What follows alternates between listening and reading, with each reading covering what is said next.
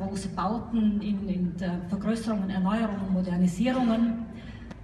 Jetzt braucht es auch noch die Ärzte dazu. Man spricht immer wieder vom Ärztemangel.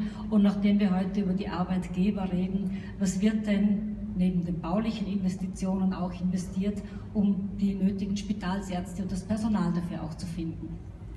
Ich möchte mich zuallererst bedanken für die Einladung und darf wie im letzten Jahr betonen, dass wir als Unternehmen eine Sondersituation haben, wenn wir hier eingeladen sind. Wir sind ein Unternehmen, das keine unmittelbare Wertschöpfung hat, sondern davon lebt, dass die Vorarlberger Wirtschaft derart blüht und wir mit den Geldern, die wir durch diese Wirtschaft zur Verfügung gestellt bekommen, sehr sorgsam umgehen. Einmal Dank dafür, dass wir als Unternehmen wahrgenommen werden und hier dabei sein dürfen.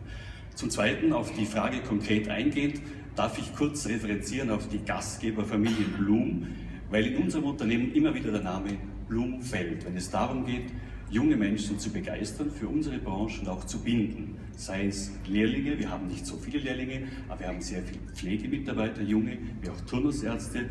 Und in diesem Zusammenhang versuchen wir auch, uns an der Privatwirtschaft zu orientieren und mit mitarbeiterorientierten Paketen die Mitarbeiter ins Land zu bekommen. Wir haben in den vergangenen Jahren umfassende Personalmaßnahmenpakete gestartet, österreichweit Werbung betrieben, konnten sogar Ärzte aus Wien für Vorarlberg begeistern.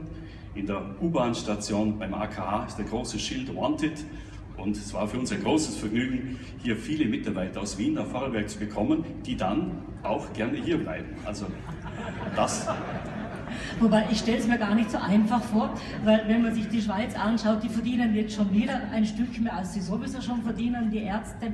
Und auch in den anderen Bundesländern verdient man mittlerweile mindestens so viel wie in Vorarlberg. Und ich glaube, die deutschen Spitalsärzte verdienen auch nicht so schlecht. Und wir sitzen da genau in der Mitte.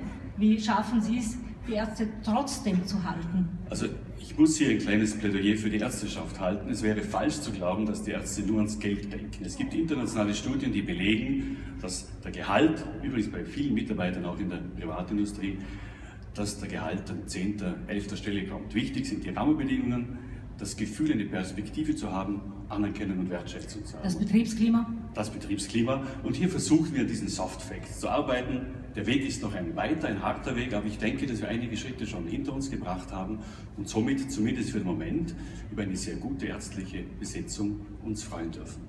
Sie haben gesagt, Sie möchten sich an den Rekrutierungsmaßnahmen der Wirtschaft orientieren. Wie kann man sich das vorstellen?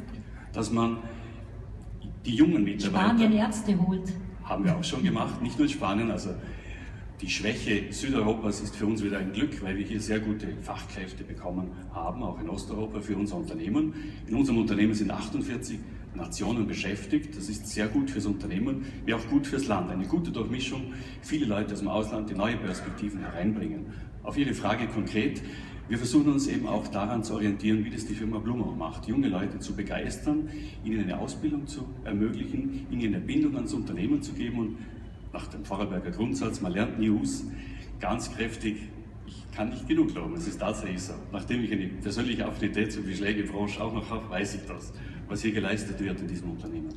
Wir versuchen die Leute zu binden, dass sie auch dann später im Unternehmen bleiben und gerade Medizin, auch Pflege, das bedeutet lebenslanges Lernen. Diese Branche ändert sich unglaublich schnell, auch technologisch. Und wenn man hier nicht am Puls der Zeit bleibt, dann wäre man plötzlich Verlierer. Da sage ich herzlichen Dank, Direktor Fleisch. Weiterhin alles Gute, viel Erfolg Ihnen und Ihren Mitarbeiterinnen und Mitarbeitern in den Landeskrankenhäusern. Alles Gute. Danke sehr.